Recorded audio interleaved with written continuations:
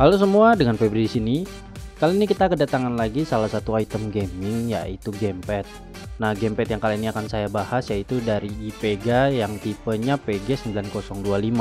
Jadi gamepad IPEGA ini sudah yang bertipikal wireless dan memiliki ukuran yang sangat kecil. Di dalam box penjualannya selain gamepad, kalian juga akan mendapatkan satu buah kabel yang fungsinya untuk charging dan bisa digunakan juga untuk di PC kalian. Selain itu kalian juga akan mendapatkan satu buah buku manual dan di buku petunjuk manualnya ada dua bahasa yaitu Mandarin dan bahasa Inggris. Di sini kalian juga bisa melihat fungsi-fungsinya dan untuk menggunakannya di sini juga ada dijelaskan untuk penggunaan Android, iPhone atau iOS dan untuk penggunaan di PC atau di Windows kalian.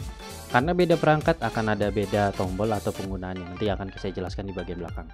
Dan oke sekarang kita menuju ke bagian produk utamanya yaitu gamepad IPEGA 9025. Yang pertama bisa kita lihat yaitu layout dari gamepad ini yang menyerupai stick Xbox 360. Gamepad portable ini dibanderol dengan harga di kisaran 200 ribuan saja. Dan dikarenakan gamepad ini sudah menggunakan Bluetooth atau wireless, jadi gamepad ini sudah menggunakan baterai lithium dengan kapasitas 380 mAh. Oke kita lanjut ke bagian desainnya. Bentuknya yang kecil dan compact di bagian atas gamepad ini terdapat satu buah stand ponsel yang dirancang dengan mekanisme teleskopik. Jadi pada saat tidak digunakan stand ini dapat kalian lipat sehingga dapat membuat ukurannya menjadi jauh lebih compact Selain itu, salah satu hal unik yang saya dapatkan dari gamepad ini yaitu tombol R2 dan L2-nya yang berada di bagian tengah belakang gamepad ini. Awalnya saya mengira penempatan seperti ini akan membuat saya kesulitan dalam penggunaannya. Tetapi pada saat saya gunakan, feel yang saya rasakan ternyata jauh lebih nyaman. Salah satu yang saya paling suka yaitu aksen berwarna merah yang terdapat pada tombol YAXB yang ada di gamepad ini. Desain tombol seperti ini terlihat sangat elegan dan terlihat sangat mewah. Selain itu di bagian tengah juga kalian bisa mendapatkan dua indikator LED yaitu search dan juga charge.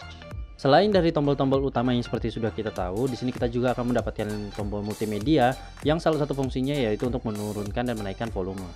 Dan untuk perbandingan ukurannya di sini saya jajarkan dengan HP Realme 3 Pro.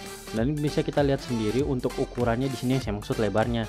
Tidak beda jauh dengan HP dari Realme 3 Pro ini.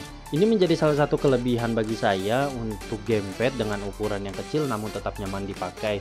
Dikarenakan saya juga salah satu orang yang jarang di rumah atau bahkan sering keluar-keluar dan lebih sering memainkan game di HP, ini bisa menjadi salah satu opsi kalian juga yang ingin menggunakan gamepad untuk di HP kalian. Dan sekarang kita akan coba menyambungkan di HP Realme 3 Pro atau di HP Android. Jadi di sini ada beberapa pengaturan yang dapat kalian gunakan di beda-beda perangkat, contohnya di iOS, di Android, dan maupun di PC atau di Windows kalian.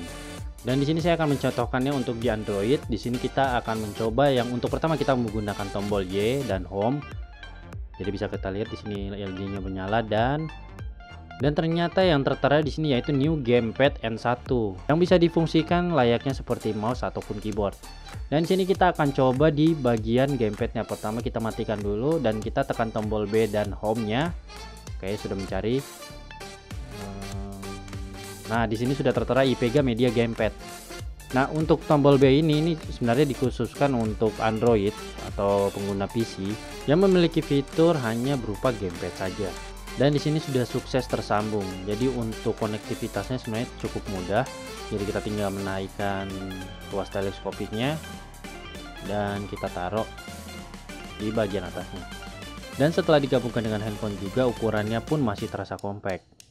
Dan untuk pengetesan awalnya di sini saya coba menggunakan aplikasi-aplikasi gaming yang sudah tersedia di Play Store tanpa menggunakan aplikasi bawaan atau software bawaan seperti Octopus. Dan bisa ya kalian lihat di salah satu game racing yang sudah tersedia di Play Store, tanpa aplikasi bawaan seperti Octopus kalian dapat langsung memainkannya. Tapi selain itu juga saya mencoba menggunakannya di PC.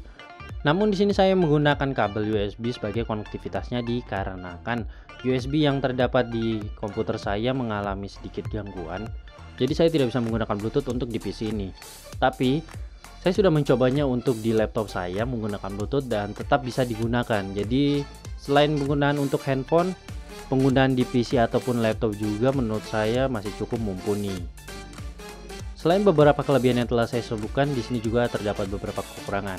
Dan salah satu kekurangan yang bisa kalian langsung perhatikan yaitu bagian bodinya.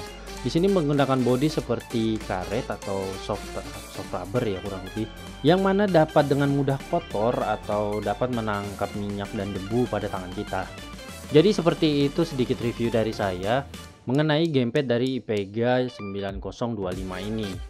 Jadi bagaimana menurut kalian? Apakah kalian tertarik atau tidak? Atau mungkin ada yang sudah menggunakannya? Kalian bisa tulis di kolom komentar di bagian bawah. Dan sampai di sini saja dulu untuk video kali ini. Di ke depannya saya akan membahas lagi dua lagi gamepad dari IPEGA. Jadi jangan lupa klik like, komen, dan juga subscribe. Dan juga lonceng yang ada di sebelah kanannya. Jadi biar kita bisa ketemu di video-video selanjutnya. Oke sampai di sini saja dulu untuk video kali ini. Kurang lebihnya saya mohon maaf. Sampai ketemu di video selanjutnya dengan Febri di sini. Bye.